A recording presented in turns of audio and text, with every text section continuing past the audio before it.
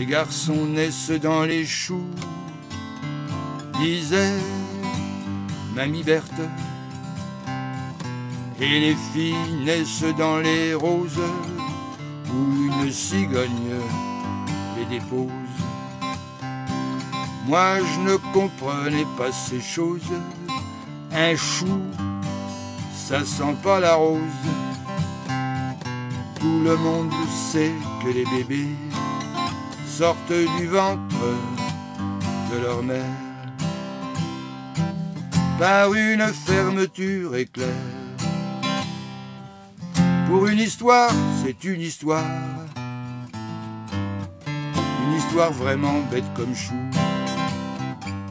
Un chou, c'est un chou, voilà tout, disait mon grand-père. Pépé avait le S chuintant, pauvre petit chou né sans argent, à planter des choux au champ. On ne peut que faire chou blanc. On peut pas en faire ses choux gras. Faut ménager la chèvre et le chou. Ça prend le chou, ces choses-là. On va pas en faire un fromage de cette histoire qui parle que de chou. Rouge, vert, blanc ou en fleurette, disait le cuistot. Le chou doit garnir nos assiettes, mais lorsque nous sommes dans les choux, alors là, c'est un vrai casse-tête on n'y est pas dans notre assiette.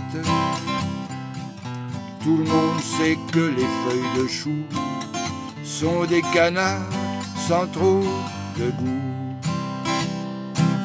C'est pas la crème des gazettes. Bien sûr, si le cuistot s'en mêle, on va aller planter des choux.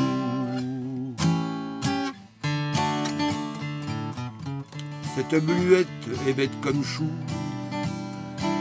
disent mes amis, faisant des choux ou même des raves.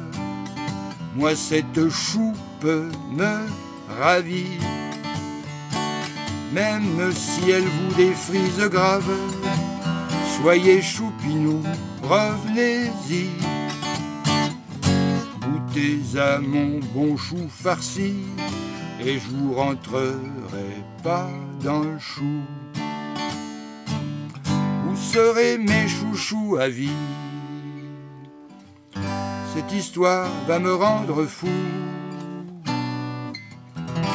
Elle commence à me prendre le chou